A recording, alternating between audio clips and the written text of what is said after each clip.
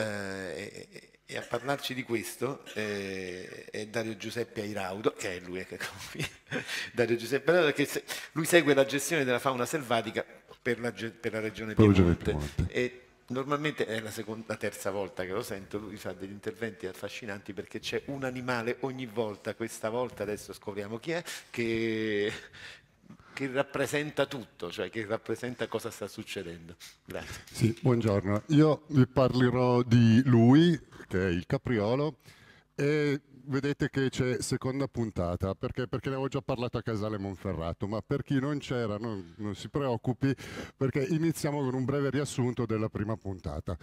Allora, che cosa avevamo visto l'anno scorso? Che eh, in Francia e in Germania si stavano verificando delle situazioni sul capriolo che non erano proprio del tutto normali. Questo grafico che si vede qua, questi tre grafici, rappresentano il primo la temperatura primaverile, che come vedete si sta, sta aumentando, l'hanno già detto tutti prima di me. Ma questo cosa comporta? Di nuovo, lo ripetiamo, un anticipo delle fioriture primaverili delle, delle piante. Questo è un problema perché il capriolo ha un ciclo vitale molto molto rigido. Par le femmine partoriscono tutte nella seconda metà di maggio e in circa 20 giorni hanno partorito tutte. Non riescono a spostare questo periodo di, dei, dei parti né in avanti né indietro. E quindi il terzo grafico ci fa vedere una cosa, che il capriolo, che è quella pallina come se fosse un pendolo, è sempre fermo al suo posto le fioriture stanno andando indietro e quindi si crea un disaccoppiamento tra il periodo delle nascite e il periodo della fioritura. Questo perché è importante? Perché le piante in crescita attiva, in fioritura, sono molto ricche di sostanze nutritive e il capriolo, soprattutto le femmine, ne hanno bisogno al momento del parto per portare a termine le gravidanze, per iniziare la lattazione, per avere un latte abbastanza ricco da eh, far crescere, da nutrire il, il cucciolo e farlo crescere nella maniera corretta.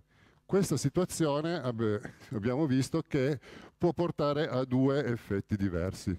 Il primo, questo caso è proprio quello francese, di una popolazione isolata, cioè una popolazione che vive in un'area confinata da barriere naturali o artificiali, caso francese erano recinzioni vere e proprie, dove non può spostarsi, non si può eh, allontanare da quell'area. E cosa succede? Che la carenza di nutrienti porta nel giro di poco a una caduta mostruosa della popolazione fino, in casi estremi, a portare all'estinzione di queste specie. Invece in Germania, che eh, i caprioli non vivono dentro i recinti come nel caso di studio francese, quindi le popolazioni non sono isolate, eh, si è visto che eh, i caprioli salivano di quota, siano passati da una quota media di 1200 metri a una quota media di 1400 metri.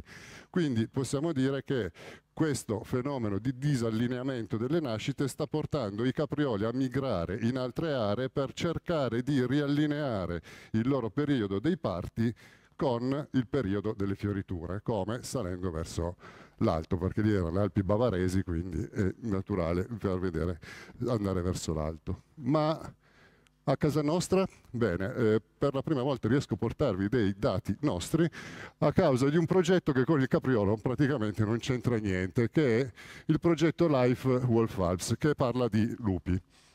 Perché però eh, c'è entrato dentro anche il capriolo? Perché questo progetto vuole eh, andare a cercare di mitigare il conflitto che c'è ancestrale tra uomo e lupo.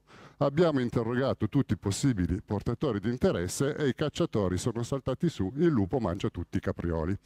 E allora cosa abbiamo detto? Per capire quella che è, in biologia si chiama competizione alimentare, perché tutti mangiano la stessa roba e non ce n'è per tutti, sarà proprio vero come andando a studiare non il lupo contro il capriolo, ma l'uomo contro il capriolo, cioè come, cosa succedeva nel mondo della caccia in pratica. Questo studio ha portato a una tesi che vi presento e ringrazio la dottoressa Francesca Gaidù, la tesista che ha fatto due anni di lavoro qua sopra, per avermi permesso di eh, utilizzare i, i suoi dati. Ma perché questo studio è così interessante? Prima di tutto vediamo dove siamo. Siamo in eh, provincia di Cuneo, in quell'area lì che è praticamente la zona della Valle Pesio e valli limitrofe. Qui perché? Perché abbiamo dati sul capriolo sufficientemente lunghi da poter fare dei, delle eh, ipotesi sensate e anche perché il lupo qua è presente da tantissimi anni. Quindi c'è la, la possibilità di comparare delle dinamiche di popolazione e di vita di queste due specie in maniera eh, abbastanza, eh, diciamo così, eh, robusta.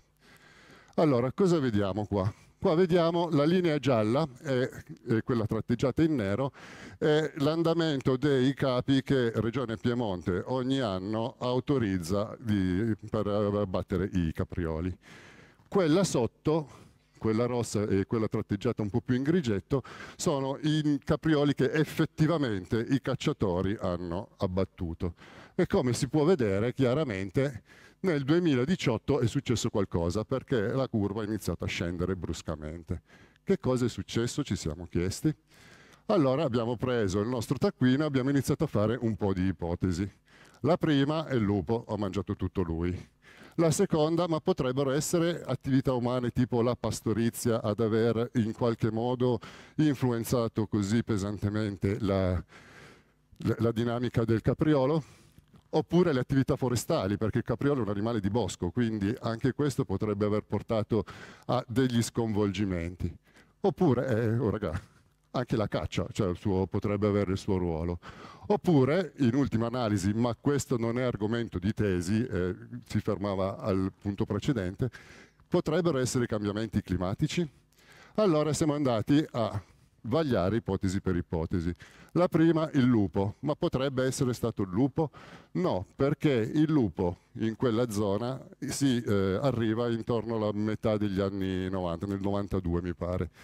E è cresciuto, cresciuto, cresciuto fino a circa il 2010. Dal 2010 in avanti il, lo spazio a disposizione per i lupi era eh, finito e quindi le popolazioni di lupi, i branchi di lupi si sono stabilizzati.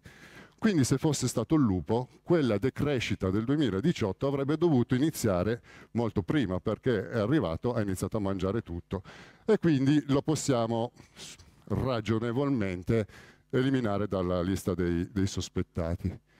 Il pascolo? Beh, il pascolo in montagna è, da quando l'uomo ha, ha, domesticato gli animali che c'è.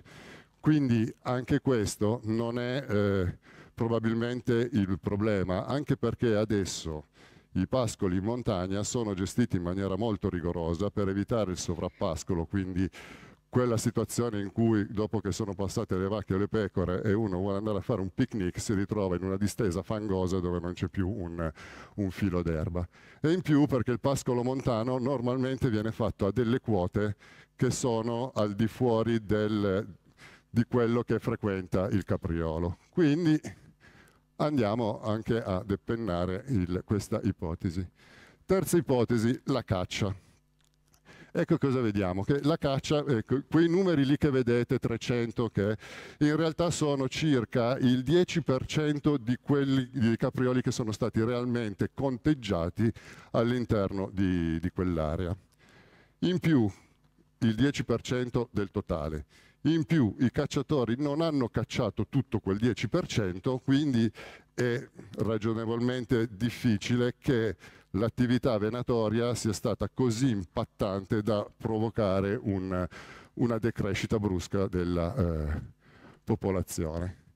Le attività forestali, di nuovo in montagna, nei boschi, i taglialegna ci sono sempre stati, il, queste attività anche oggi sono regolamentate in maniera estremamente rigida e in più eh, per, il taglio del bosco, il diradamento del bosco apre radure, fa entrare più luce e quindi in teoria dovrebbe essere un fattore che favorisce la crescita della vegetazione e quindi favorire il, il capriolo, non eh, svantaggiarlo. E quindi neanche questa ragionevolmente è la situazione non ci resta il clima che cambia. Eh, cosa ci porta il clima che cambia? L'hanno detto prima anche eventi estremi sempre più frequenti, sempre situazioni fuori stagione anomale.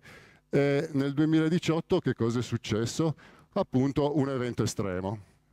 A marzo del 2018, in quella zona lì, nel Cunese in generale, c'è stato un, sei fenomeni di gelicidio. Che cosa vuol dire? Pioggia che cade sul eh, terreno gelato o sul, eh, sulle piante, sugli animali e gela immediatamente formando proprio delle croste vere e proprie di ghiaccio. Potete capire che in una situazione del genere eh, gli animali muoiono assiderati. In più c'era pochissima neve. Gli animali usano la neve come eh, coperta perché ha un effetto di eh, isolamento termico.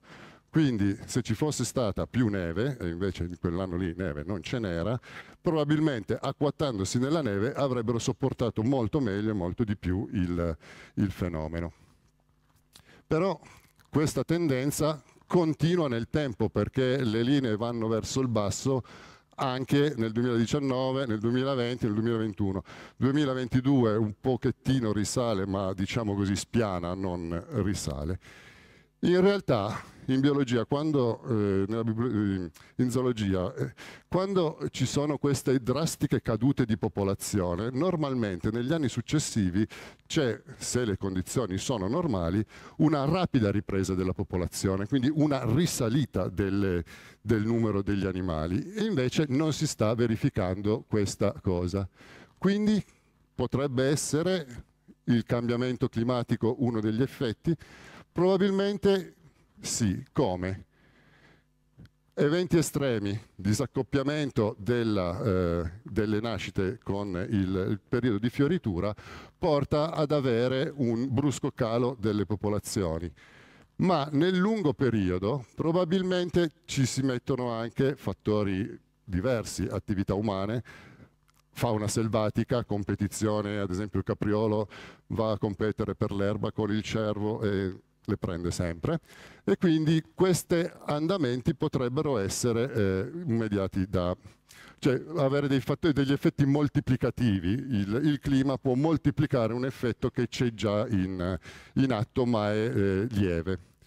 In più, eh, scusate, Urca, sono tornato indietro, scusate. Possiamo tornare indietro di due slide. Eh, in più dobbiamo tenere presente una cosa, che in eh, quel grafico che vi ho fatto vedere, gli animali conteggiati sono conteggiati sempre e comunque nelle stesse aree da circa 20 anni. Quindi questi animali dice, sono scesi. In realtà nel, in quelle valli il, abbiamo messo un sacco di fototrappole segnalate per, per la privacy. L'animale più fotografato è il capriolo non è il lupo, non è il cinghiale, non è il cervo, ma il 40% delle immagini scattate dalle fototrappole sono di caprioli. Quindi ci è venuto il dubbio, ma il capriolo è sparito oppure sta facendo come sta facendo sulle Alpi bavaresi, si sta spostando verso l'altro, verso altre, eh, altre zone? Probabilmente questa è la risposta più... Eh, sensata perché noi stiamo andando con i cacciatori sempre negli stessi posti da vent'anni dove vent'anni fa ce n'erano tanti ma eh, adesso non ci sono più. Dove sono? Probabilmente sono da un'altra parte. La cosa paradossale che stiamo vedendo è che probabilmente a primavera seguono la, eh, la fioritura, quindi stanno in bassa valle durante l'inverno, poi mano a mano che l'erba fiorisce vanno sempre più in alto, ma poi in estate, ad agosto, settembre, i caprioli si ritrovano esattamente dove i cacciatori si pensano che siano, perché il numero di animali cacciati, quelli che avete visto lì nella linea rossa, li prendono in un mese solo di caccia e non in quattro e questo è un altro sospetto che ci lascia dire che i caprioli ci sono, perché meno animali faccio più fatica a trovarli e quindi ci metto più tempo a trovare un capriolo e ad abbatterlo. E in più esattamente negli stessi posti in cui hanno abbattuto i caprioli dal 2000 al in avanti. Quindi probabilmente il capriolo di quella zona della Valle Pesio ha un movimento, diciamo così, transumante. Segue la crescita, l'innalzamento della fioritura in primavera, quindi insegue mano a mano che la neve si scioglie, le piante fioriscono, loro la inseguono per avere le sostanze nutritive, per eh, rimettersi in quadro dopo l'inverno, accumulare grassi, nutrire i piccoli e tutto, però poi a un certo momento c'è qualcosa che li rispinge verso il basso. E che cos'è questo qualcosa? È il periodo riproduttivo. I maschi del capriolo sono territoriali, i territori sono sempre praticamente quelli e le femmine devono andare dai maschi per accoppiarsi. Quindi si assiste a questo movimento su e giù, su e giù. Questo è un, uh, un problema perché questo movimento implica energia, implica il fatto che eh, siano più esposti a rischi di predazione, a rischi di incidenti stradali, un sacco di, di cose e spiega il perché un evento traumatico come il gelicidio del 2018 ha portato degli effetti molto lunghi sul, negli anni successivi e così drammatici che la popolazione non riesce più a riprendersi dal trauma del 2018, nel senso non riesce più a salire di, di numero. Io con eh, questo ho finito, il capriolo se lo troviamo, dov'è? Eccolo qua. Il Capriolo vi ringrazia per eh, l'attenzione e spero di essere stato interessante.